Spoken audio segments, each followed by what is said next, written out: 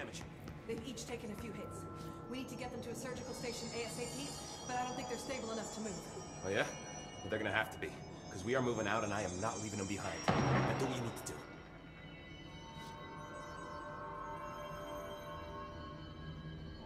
No!